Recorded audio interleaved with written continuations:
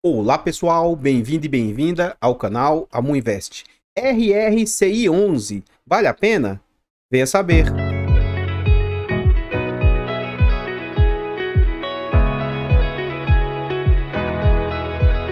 Então, pessoal, antes da gente saber mais a respeito desse fundo imobiliário, eu gostaria de pedir humildemente, por favor, deixa um like nesse vídeo e comenta para nós. E aí, você conhece esse fundo imobiliário? Sabe quem é a gestora? Sabe quem ele investe? Quem é, é o gestor? Comenta aí que seu comentário é muito importante para o crescimento e desenvolvimento do canal. Compartilhe o vídeo com as pessoas que você conhece, nos ajude a levar conhecimento e educação financeira a mais pessoas. Like, comentário e compartilhamento é de graça, não custa nada, vocês vão nos ajudar imensamente. Temos o grande objetivo de tentar alcançar 10 mil inscritos até o meio do ano. Será que a gente vai conseguir? Conto com a ajuda e colaboração de vocês. Temos a opção de membro. Tá gostando do canal e quer nos apoiar financeiramente? Torne-se um membro do canal. Tornando-se membro, você vai fazer jus a vários benefícios, tais como acesso antecipado a vídeos, participa do grupo fechado do Telegram e tem também preferência quando pede um vídeo. Esse vídeo foi uma sugestão da inscrita Sueli Marques, ela é muito ativa no canal, ela sempre comenta bastante, e ela falou o seguinte, Amu, faz outro vídeo aí desse FII ele teve uma valorização. O que, que você acha dele hoje em dia? Vou falar as minhas impressões aí, inclusive até positivas a respeito do fundo. Antes da gente ir para o vídeo propriamente dito, a gente tem uma segunda ambição esse ano, um grande objetivo esse ano, que é tentar tirar uma certificação CEA. Essa certificação ela é cara, ela teria passar uh, uh, e ela é lá em São Paulo. Com essa certificação, a gente pode até se tornar um profissional do mercado e indicar ativos. Então, se vocês quiserem nos ajudar nessa empreitada, abra uma conta na corretora Clear com o nosso link de indicação. A partir de 100 reais investidos, você ganha um bônus de 70 reais e a gente também ganha. Então, você vai se ajudar e vai nos ajudar imensamente. Nós fazemos é, o serviço de mentoria por fora, privada, tá? Se você tiver interesse em ajuda na montagem de carteira, ajudar aí, olhar a sua carteira, contate o nosso e-mail aí que a gente pode te ajudar, muinvest.gmail.com. Por coincidência, esse também é o Pix do canal. Se vocês quiserem nos fazer qualquer doação, a, a, o Pix do canal amuinvest.gmail.com será muito bem-vinda a sua doação. Vamos lá. Esse fundo imobiliário é um fundo de papel. Acredito que ele não é hypado, entre aspas, né? Não é um fundo que está sempre na mídia aí. Ele foi lançado em novembro de 2020, base 100. RB Capital é a sua gestora, mandato renda, e ele tem uma baixa liquidez. Então aqui é um ponto de atenção, 166 mil por dia. Para pequenos e médios investidores, porque aqui até mais ou menos 16, 20, 25 mil, você ainda consegue entrar e sair do fundo com uma certa dificuldade, mas consegue entrar e sair. Então, para pequenos e médios investidores, pode ser uma opção, mas tem que tomar cuidado com essa liquidez. Os usuários do site não dão, não dão nota, ele não faz parte do IFIX e ele conta com 481 mil cotas. Em termos de PVP, ele é um dos poucos fundos de papel que está sendo negociado abaixo do VP. Então, isso aqui é incomum. Já já eu vou tentar mostrar por que, que esse fundo estava tão depreciado. É um fundo bem pequeno frente aos que já existem no mercado, né? Ele possui um valor de mercado de 47 milhões, só que o mercado está aceitando pagar 43 milhões. Então a gente vê o seguinte, é um fundo de base 100, atualmente está valendo 97 e o mercado está aceitando pagar 91, mas já teve um bom upside, como a, a, a colega nos informou lá. Tendo fevereiro como referência, é um fundo que conta ali com 2.100 cotistas. Aqui a gente vê o quanto o fundo vem sendo negociado atualmente, ó, 91. Ele teve como mínima 76 e agora voltou a, a, a 91, que é a máxima. Ele está no seu pico histórico do último ano. Ele já teve valores maiores, mas ele, ele agora está no seu pico histórico do, do último ano. Então vamos traçar a linha dos 100 reais. A gente vê que desde que o fundo veio ao mercado, ele vem num, num momento ruim e ele nunca conseguiu bater o seu VP. Então a gente vê que 2020 foi um ano problemático, ele vem no finalzinho de 2020 a mercado e vem só numa decrescente. Por quê, Amu? Já já eu vou falar os motivos que acredito eu que esse fundo está sofrendo tanto e agora ele vem esboçando essa reação. Gente, o mercado ele é rentista e imediatista. Se ele, um fundo de papel estava caindo as suas cotações e sendo negociados a patamares de 70 e poucos reais, o que, que vocês acham que aconteceu para o fundo tá, tá, tá sendo negociado com tanto desconto? Chuta. e o que, que vocês acham que aconteceu agora, que o mercado vem se recuperando? Vocês vão ver essa recuperação já já, o que, por que está acontecendo essa recuperação. Nesse slide aqui, agora, a gente mostra a recuperação lá atrás. Ora, o fundo vem a mercado, e aqui, ó, vamos calcular aqui, ó, 30, 60, 90, 1 e 20. Então, o que, que acontece? Ó? Você vê que o fundo vem a mercado e não chegou a entregar nem 60 centavos de rendimento. Poxa, um fundo de base 100, de papel, não estava entregando nem 60 centavos? Aí ele começa a melhorar a entrega, ó. E melhora a entrega, melhora a entrega, melhora a entrega. Enquanto o fundo aqui estava entregando pouco, ainda assim melhorando, é pouco, gente, 60 centavos. Aí começa a chegar no patamar mais aceitável aqui, ó. Então, nesse meio termo aqui, o que, que o mercado fez? Poxa, o fundo não está entregando nem 90 centavos, vamos empurrar a cota para baixo, porque o, o, mercado queria no mínimo 1% de, de yield nesse fundo. Então começou a empurrar a cota para baixo, com esses rendimentos começou a ficar equi equivalente, e agora está tendo uma distorção. Ó, eu sou o pai de Ná, hum, vou imaginar, hein? Depois podem voltar aqui no vídeo e me cobrar. Se daqui uns dois, três meses esse fundo não não, lógico, desde que ele mantenha esses rendimentos altos, como ele está entregando, eu acredito que ele vai manter. Volte aqui nesse vídeo daqui uns dois, três meses e me diga se esse fundo não vai estar tá entregando aí, não vai estar tá com BP, ele ser negociado a 102, a 100 reais, 102, 105, 110 ou mais. Por quê? O mercado vai olhar para esse fundo, vai ver que ele vai estar tá pagando muito e vai começar a se posicionar no ativo. Depois me cobre. então o que, que a gente observa? Foi aquilo que eu falei, ó. Maio do ano passado, entregou 70 centavos. O mercado estava batendo nele aí, ó, 86 reais. Continuou pagando 73,70. Foi caindo, 84, 84. Só que aí, ó, não é bem casado, não é na hora que ele paga que o mercado é, reage. 83 centavos, ó, ficou no patamar de mais ou menos 1%. Ó, derrubou as cotas para 80, 80, 80. Só que aí ele começou a melhorar a entrega, ó.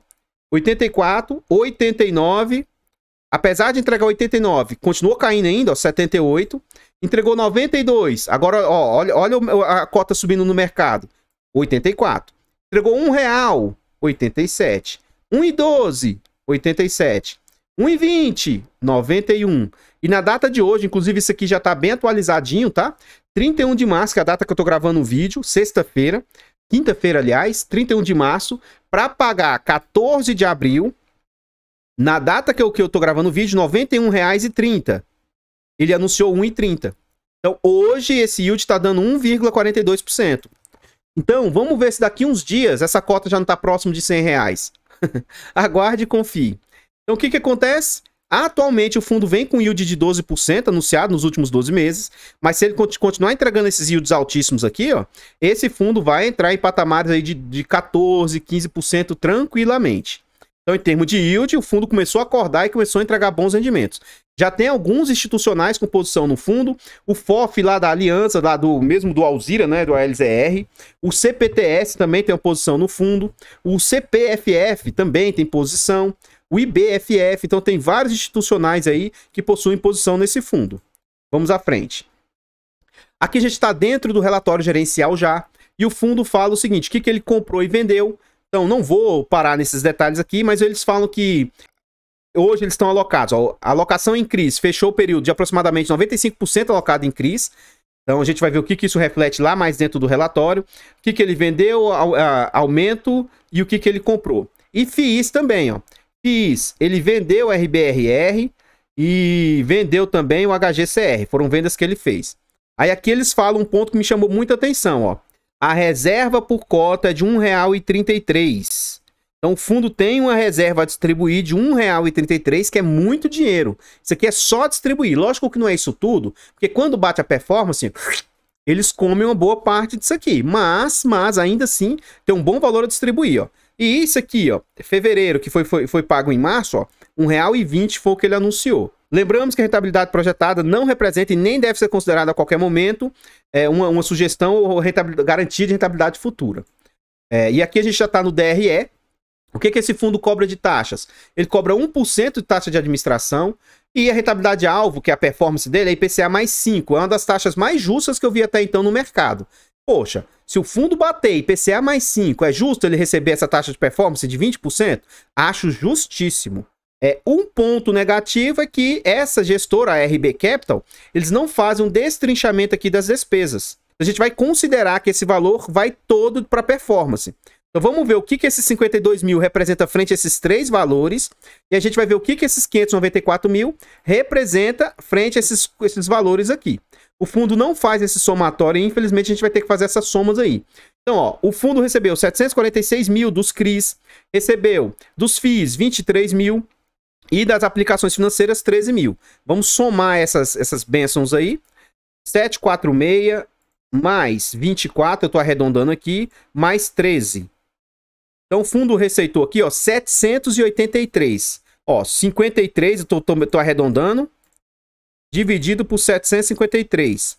A gente vê que em fevereiro as despesas orbitaram 7,03%, bem positivo aí. Vamos vendo desde que o fundo veio ao mercado, para ver como é que tá o acúmulo dessas taxas aí. Vamos lá. 6688 mais 212 mais 138 vai dar pan 7038. 7038. Isso aqui vezes 100 dividido por 7038. 8,43%. Então, no crivo de taxa, ponto muito positivo para a gestora. E aquilo que eu falei, voltem e me cobrem. Olha aqui, um real, 1,12, 1,20, já anunciou agora 1,30. Rapaz, esse fundo vai com, assim, né, a tendência é altíssima das cotas se valorizarem aí. Aqui a gente vê os ativos que o fundo investe. Então, assim, ó, primeiro ponto positivo. O ativo que ele tem maior concentração representa 9,9% do seu portfólio. Então, isso aqui para mim é um ponto bem positivo aí do fundo. É o Canopus. Então, são ativos corporativos, né? Eu vejo isso aí como um ponto bem positivo. Esse fundo também, ó, ele, ele está financiando ó, o circuito de compras, que é aquele problemático lá do XBXO, e ele, ele, ele é, financiou diretamente né, as compras lá dele, lá o, o, o desenrolar da situação representa ali 6,7%. É, deixa eu ver se tem mais algum outro. Aqui são mais esses aqui que eu quero trazer para vocês. Canopus, que é um fundo imobiliário, e o circuito de compras lá, que é o XBXO, aquele que tem no HCTR, Deva, Versailles, Tord, Iridium, tem vários outros aí.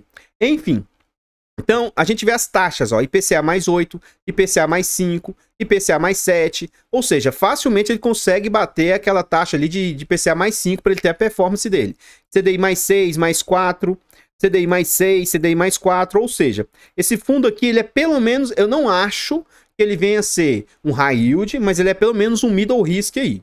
E o ponto negativo, ponto positivo, duration médio da carteira 3.7, Está extrapolando os 3, 3,5 que seriam aceitáveis, mas é muito positivo. Agora, o ponto negativo são os seus LTVs. Alguns ativos sequer têm LTV, então isso aqui para mim é um ponto bem ruim.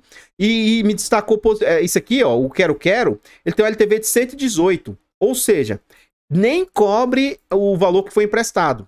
Então, assim, ó, de 2 milhões e 700 mil que emprestou, só fazendo um cálculo bem grosseiro aqui, é como se ele tivesse de garantia tipo 2 milhões, 2 milhões e, e 300, uma coisa assim. Esse LTV, quanto menor, melhor. Então, nesse exemplo aqui, ó, de 66 aqui, significa que a cada 66 reais de dívida, ele tem 100 de garantias. Então, nesse aqui, ó, nesse LTV de 118, significa que as suas dívidas são 118 e ele tem 100 de garantias ali. Então, tá extrapolando, tem mais dívida do que garantias, é mais ou menos isso. Vamos à frente aí. Aqui a gente vê a disposição né, dos seus, dos, das, das, dívidas. Então é uma dívida bem assim. Você não vê igual nos outros ativos que tem multipropriedade, loteamento. Então, ó, é tudo corporativo. Ó, construção, público, varejo, que aqui provavelmente deve entrar aquele do circuito de compras, ó. Logística, hospitalar, pulverizada, energia, lajes, supermercados. Então, assim, é um segmento bem diversificado, com peso maior para construção civil. É, LTV do fundo aqui, ó. Aqui ele traz algumas, alguns é, números, né? Menor que 40% é 15% do fundo. Entre 40 e 70 é mais 23, ou seja, 28, 38, é. Mais ou menos 38% do fundo está com LTV ali mais ou menos aceitável. E aí o restante aí tá com, com, com LTVs bem, bem ruins. A taxa média da carteira Hoje ele tem 70% em IPCA, que é IPCA mais 6, a média, 6,66. Ele tem 21% em CDI mais 5 e mais 3,5% em GPM mais 5. Então são taxas bem agressivas aí. E aqui a gente vê o restante da carteira, né? Ele vai ter ali, ó, mais 3% em FIIs, que é o MGCR, CPTS e PLCR, né? Ponto positivo aí, são fundos, na minha opinião, bons, né? Fundos teoricamente seguros. E aí, como é que compõe o, total do patrimônio do fundo? 93% em CRIs, 3,1% em FIIs, 3,2% em caixa, mais o restante em dinheiro realmente propriamente dito, mais 2 milzinho ali. Então aqui compõe o total do patrimônio do fundo. Vamos à frente. Então, pessoal, o que eu tinha para trazer a respeito do RRCI são somente essas informações. É bem curto mesmo, né? Porque não tem tanto. Apesar do, do, da, do relatório ter muitas páginas, aí são aquelas coisas de rentabilidade, de que eu não, não gosto de considerar nem trazer para vocês aqui. Por favor, deixa o like no vídeo e comenta para nós. Meu ponto a respeito do fundo: positivo. Não vejo nada de gravíssimo aí. Tem fundos aí bem mais arriscados que esse. É um fundo que, é, é, é, nesse momento, como está começando a recuperar, acho que os olhos de vários investidores vão se voltar para ele e vão começar a comprá-lo. Então vê aí e me cobra daqui um mês, dois meses, que as cotas já não vão estar tá ali mais próximas ao VP ali. Acredito que vai dar uma recuperada, porque é um fundo que está pagando muito para os padrões atuais. E acredito que ele venha se manter, tá? Acredito que ele vai se manter.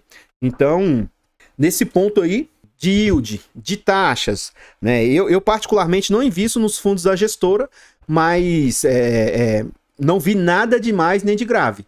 Tá? O meu ponto aí o meu ponto de vista, não representa indicação de compra, venda ou manutenção, mas eu vejo como positivo o fundo. Por favor, compartilhe o vídeo com as pessoas que você conhece. Nos ajude a levar conhecimento e educação financeira a mais pessoas. Like, comentário, compartilhamento é de graça, não custa nada e vocês vão nos ajudar imensamente. Ajude-nos a alcançar 10 mil inscritos, se inscreva no canal, torne-se membro a partir de 10 centavos por dia, isso vai nos ajudar imensamente. É, abra uma conta na Clear com o nosso link, faça-nos a doação no Pix de qualquer valor. Caso queira mentoria, procure-nos no nosso e-mail aí, tá? O, o e-mail e o Pix do canal, amuinvest.gmail.com. E tá aí, Sueli. O, o, o vídeo a respeito dele, né? Espero que tenha gostado, que tenha trazido informações úteis aí. Eu vou ficando por aqui. Vou deixar passando mais alguns slides a respeito desse fundo e eu espero encontrá-los nos próximos vídeos. Fiquem todos com Deus, tenham um bom dia, uma boa tarde e... Ui!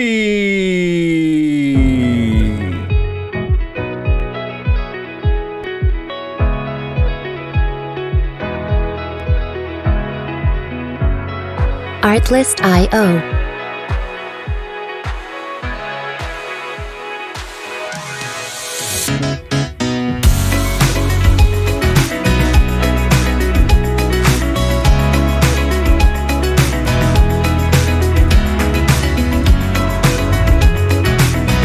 Music licensing reimagined.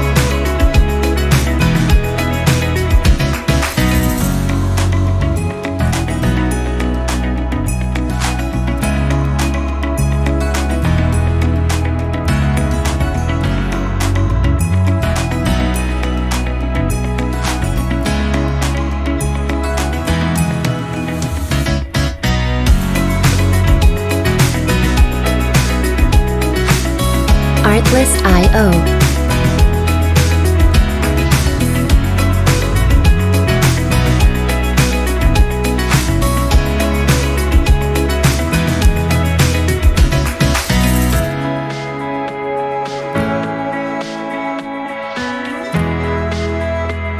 Music licensing reimagined.